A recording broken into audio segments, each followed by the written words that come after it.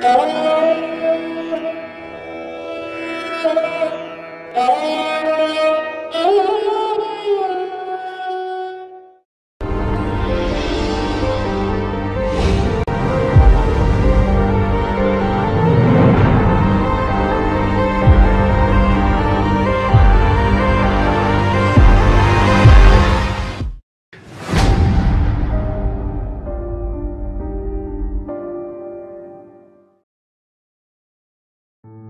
नमस्कार, मैं स्वर्णताप आज हमारे साथ राजनीतिक नवप्रवर्तक के तौर पर मौजूद हैं डॉक्टर राजीव त्यागी जी, जो पेशे से डॉक्टर हैं।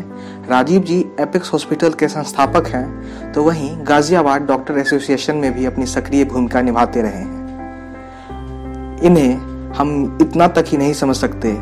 आगे ये राजनीतिक तौर पर भी अपनी मौजूदगी दर्शाने में काफ़ी ज़्यादा समय देते रहे हैं।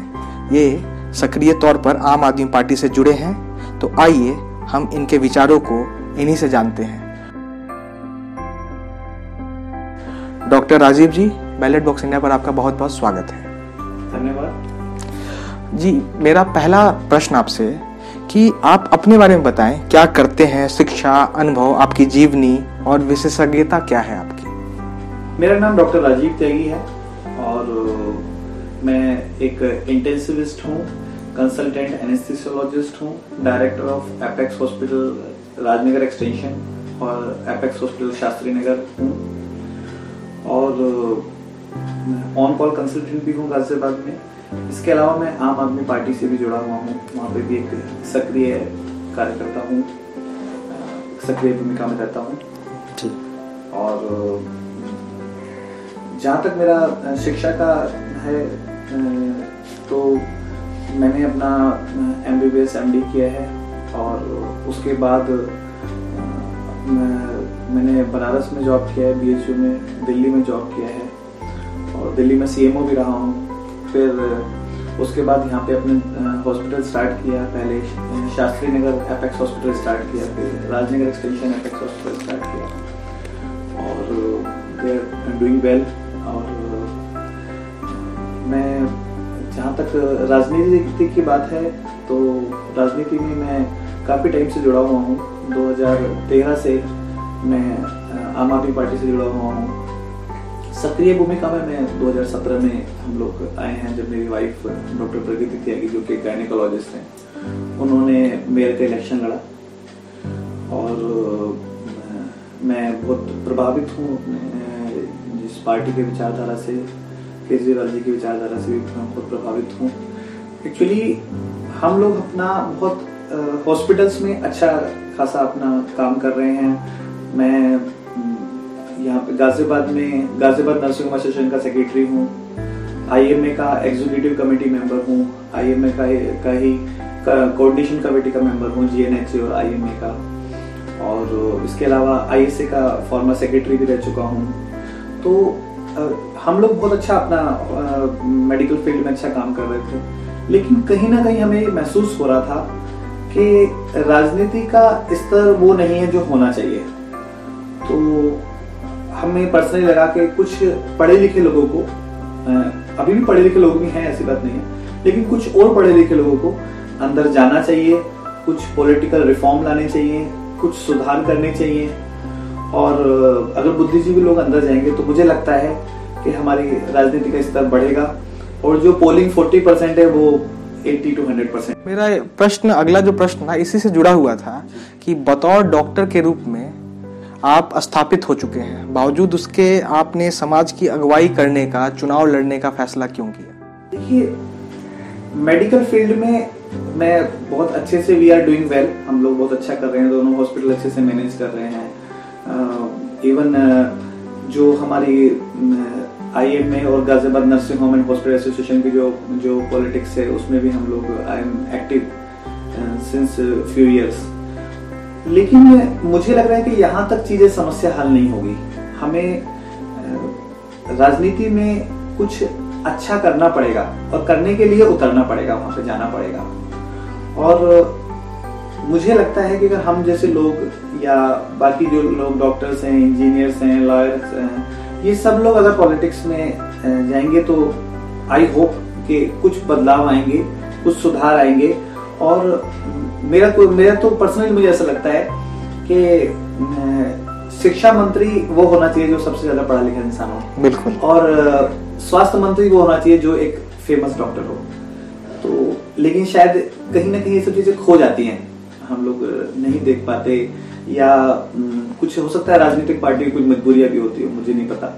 बट मुझे लगता है कि उस सुधार को लाने के लिए, उन रिफॉर्म को लाने के लिए, उस बदलाव को लाने के लिए सोसाइटी के अंदर कुछ चेंजेस लाने के लिए, हमें लगता है कि हमें, हम में से कुछ लोगों को तो आगे बढ़ना पड़ेगा। हर एक हर एक डॉक्टर हर एक इंजीनियर यही सोचता रहेगा कि अच्छा पैकेज मिल रहा है, अच्छे अर्निंग हो रही है, अच्छी इनकम हो रही है, क्या ज़रूरत है राजनीति में एंटर करने की? क्यों जाना कीचड़ में? ऐसी सोच रखेगा तो फिर कैसे होगा? अगर फिर हम लोग किसी को दोष नहीं दे सकते तो हम, अगर हमें या तो किसी को दोष ना दें, या फिर हम लोगों को सुधार लाने के लिए उसमें एक्टिव एक्टिव पार्टिसिपेशन की करना चाहिए, समाज में सुधार लाने चाहिए, सिर्फ़ एक कैंडल जला के दिल्ली में काम नहीं चलेगा। मेरा अगला प्रश्न है कि आपने अभी बात की अच्छे लोगों को राजनीति में लाने की। सुधार के लिए आवश्यकता है कि कुछ अच्छे लोग आए पढ़े लिखे लोग आए। तो वैसे में जब आप लोगों के पास जाते हैं तो लोग आपसे आपके मुद्दे पूछते हैं कि आपको समाज में क्या बदलाव लाना है किस तरह से आप काम करना चाहते हैं। तो हमारा अगला प्रश्न उसी से जुड़ा हुआ है कि आप अपने क्षेत्र से जुड़े हुए प्रमुख मुद्दों को बताएँ जिस पर आप काम करना चाहते हैं। वेल well, अगर मुद्दों की बात करें तो बहुत सारे मुद्दे हैं। लेकिन मुझे ऐसा लगता है कि सबसे बड़ा मुद्दा है महिला सुरक्षा। जी। आज सात बजे के बाद महिलाएँ घर से निकलते हुए डर रही हैं। चाहे वो गाजियाबाद हो, यूपी हो, दिल्ली हो, और भी कोई भी प्रदेश हो। तो सबसे बड़ा मुद्दा तो ये है, उसके बाद विकास। हम लोग, सब लोग विकास विकास विकास कर रहे हैं, लेकिन विकास है कहाँ? वो दिखना भी चाहिए ना हमें। तो हम चाहते हैं कि विकास ग्राउंड लेवल पर भी हो कागजों के अलावा। और चीज़ें आगे बढ़े, दिखाई दें। आज हमें एक गली में एक लाइट जलाने के लिए दस चक्कर काटने पड़ते हैं नगर निगम के या किसी भी ऑफ़िस के, ठीक है? आज एक छोटे से पर्चे को बनवाने के लिए हमें दस दस चक्कर काटने पड़ते हैं अलग अलग ऑफ़िस के, चाहे वो डीएम ऑफ़िस हो, चाहे वो तहसील हो। क्यों? क्या सब चीज़ें एक प्लेटफॉर्म पे नहीं हो सकती क्या? क्या एक सिंगल विंडो चीज़ें नहीं हो सकती?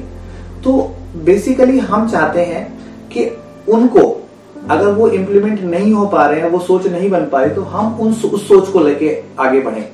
हम उस सोच को इम्प्लीमेंट करें। इसलिए हम लोग चाहते हैं कि हम लोग राजनीति में एंटर करें ये प्रॉब्लम्स को सॉल्व करें। एक बहुत बड़ा मुद्दा है शिक्षा का। आज भी मैं पिछले इतने सालों से देख रहा हूँ कि रेड लाइट पे गरीब बच्चे भीख मांगते हुए दिखते हैं। जी। क्या कोई कोई ऐसा हमारे पास अभी तक उसके लिए कोई उपाय नहीं है? क्या उसके लिए हम कुछ ऐसा नहीं कर सकते कि अगर एक बच्चा पढ़ने के लिए आएगा तो उसको टेन रुपीज़ दे जाएँगे फाइव रुपीज़ दे जाएँगे टू रुपीज़ दे जाएँगे। क्या उनको कुछ ऐसा उनको फ्री फ़ूड दिया जाएगा? उनको एक कंपलसरी एजुकेशन होनी ही होनी चाहिए। क्या ऐसा कुछ नहीं है हमारे पास? या वो सोच नहीं है? हो सकता है हो लेकिन वो सोच नहीं है। अगर वो सोच भी है और है भी तो इम्प्लीमेंटेशन नहीं है। बिल्कुल। तो वो ये जो मुद्दे हैं और मैंने आपको जैसा आपको बताया कि मेरा सोचना ये है अगर शिक्षा मंत्री हो तो वो इतना ज़्यादा एजुकेशन हो कि वो शिक्षा मंत्री को डिजर्व करता हो। अगर वो एक रक्षा मंत्री है तो उसका एक ऐसा रिकॉर्ड होना चाहिए कि वो रक्षा मंत्री या लायक हो। आज के सिनेरियो में, आज के सिस्टम में, आज की राजनीति में सिर्फ़ पोस्ट है, उसकी पोस्ट के हिसाब से मुझे नहीं लगता पर्सनली नहीं लगता कि वो उस एजुकेशन को उसको उसको वो डिजर्व कर रहे हैं। सिर्फ़ सरकार है तो तो एक पोस्ट है पोस्ट है तो वो दी जानी है। वो किसी को भी दी जानी है। अब की बार ये बन जाते हैं इनसे नहीं चलेगा तो दूसरे को बना देंगे दूसरे नहीं चलेगा, तीसरे को बना देंगे। मुझे ये पर्सनली लगता है कि ये जो, ये सब चीज़ें जो है, ये जो रिफॉर्म्स हैं, ये हम लोग ला सकते हैं, हम लोग कोशिश कर सकते हैं, हम लोग उसको इम्प्लीमेंट कर सकते हैं। अगर हम लोग आगे बढ़े, हम लोग अपनी बात रखें, सदन से लेकर संसद तक जनता से लेके और आम आदमी सब तक पहुँचे हम लोग। हम लोगों को पहुँचना ज़रूरी है उसके लिए। तो मेरी यही है और बाकी तो बहुत सारे मुद्दे हैं। विकास एक बहुत बड़ा मुद्दा है, जो मुझे नहीं लगता कि उतना ज़्यादा हो पा रहा है। एक और बहुत बड़ा मुद्दा है, जिसपे, जिसको आप क्षेत्रीय भी कह सकते हैं, आजकल तो पूरे देश में हो गया है, वो है कि हमारे जो व्यवसायी हैं वो बहुत परेशान है। नोटबंदी से शुरू हुई परेशानी कुछ लोगों का व्यवसाय बंद हो गया। चले जीएसटी तक और कुछ को बंद हो गया। और आज की सिचुएशन है, कहीं सेलिंग हो रही है, कहीं कुछ हो रहा है। मेरा अपना सोचना है कि अगर व्यवसायी हमारे, अगर वो अच्छे से अपना काम नहीं कर पाएँगे, क्यों? क्योंकि जो है, हमारे देश की अर्थव्यवस्था वो इन व्यवसायियों के हाथ में है। बहुत सी युवाओं की नौकरी इन व्यापारी, इन व्यापारियों के हाथ में है। यही व्यापारी हमें अंतरराष्ट्रीय पटल पर हमारी पहचान दे रहे हैं।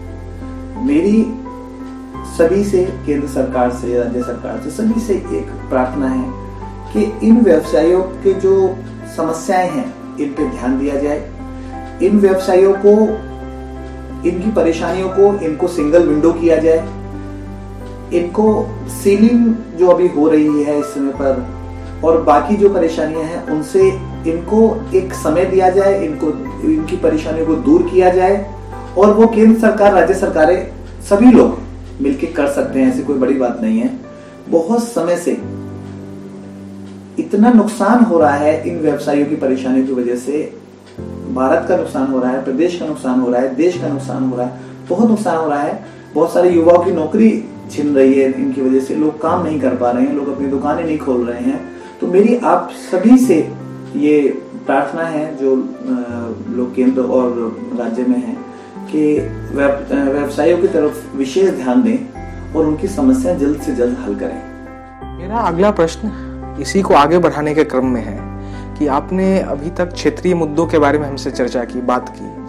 और हमें उम्मीद है कि आप राजनीतिक तौर पर जब सक्रिय होंगे तो भारतीय परिप्रेक्ष्य में भी अपने आप को देखते हैं। तो वैसे में हमारा अगला प्रश्न ये है कि आप अपने जो भारतीय परिप्रेक्ष्य में जो मुद्दे हैं जो भारतीय स्तर पर जो मुद्दे होने चाहिए जिसको आप करना चाहते हैं उसका समाधान देना चाहते हैं तो उन मुद्दों के बारे में आप कुछ बताएँ।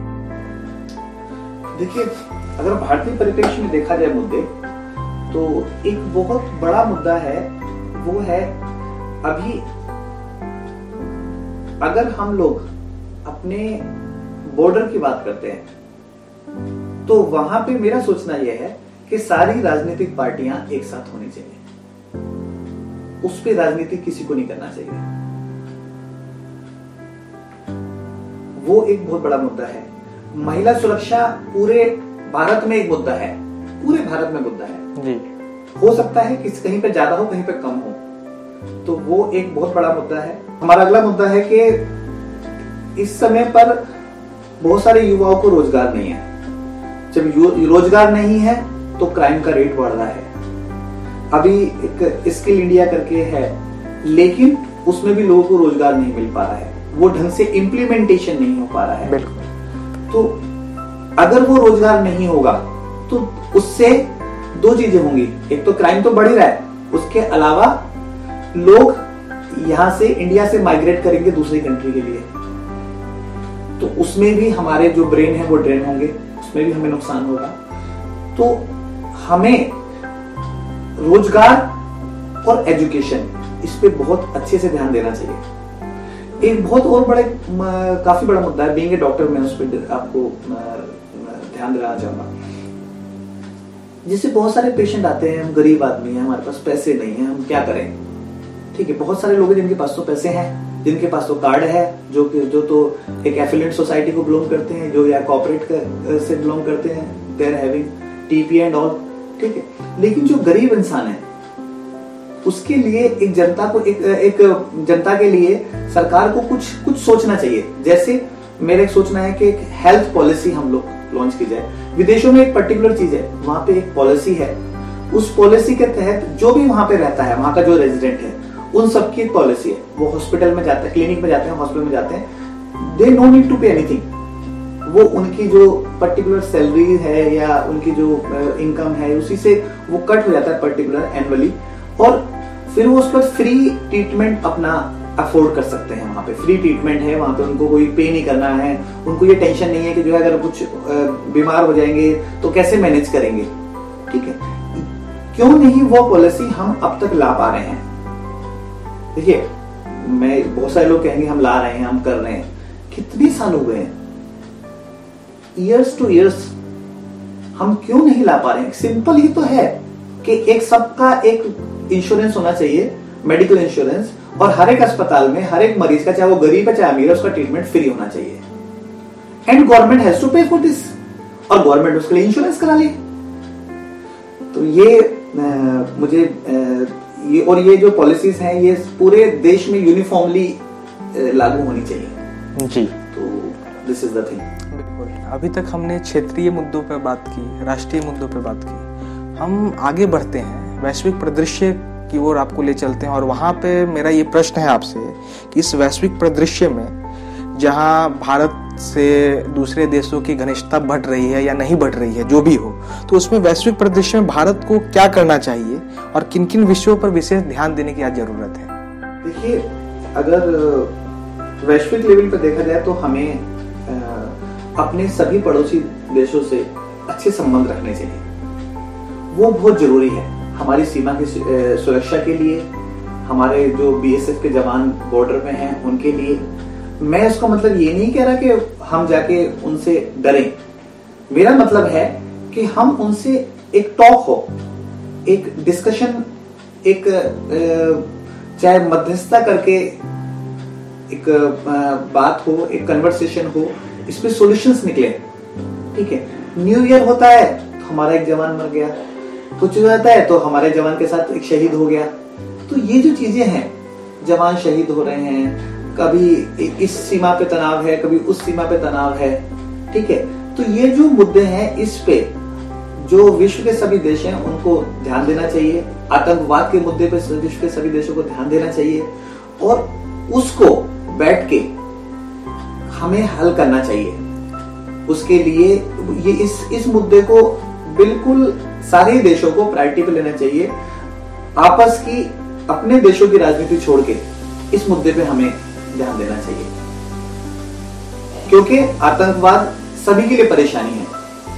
और जो लोग आज सोचते हैं कि उनके लिए परेशानी नहीं है उनके लिए भी भविष्य में परेशानी बन सकता है। बिल्कुल। तो इसलिए मेरा सोचना यह है कि आतंकवाद का मुद्दा और सीमा सिक्योरिटी बॉर्डर सिक्योरिटी ये एक बहुत बड़ा मुद्दा है।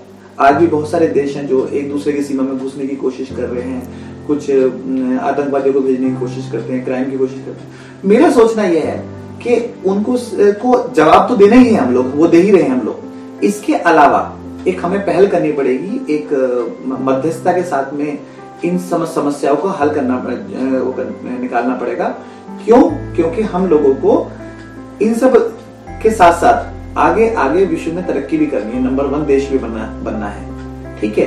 तो हम लोग सिर्फ़ शांति नहीं, लेकिन शांति चाहते हैं। तो उसके लिए हम लोगों को कुछ ना कुछ रास्ता निकालना चाहिए।